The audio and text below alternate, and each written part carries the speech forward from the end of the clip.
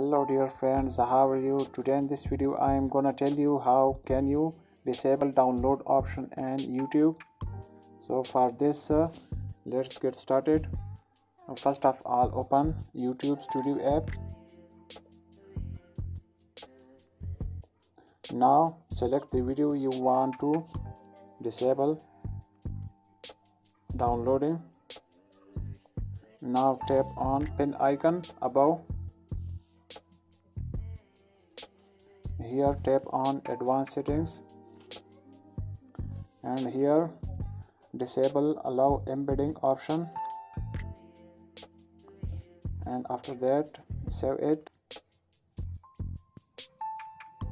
So this video has been disabled for downloading.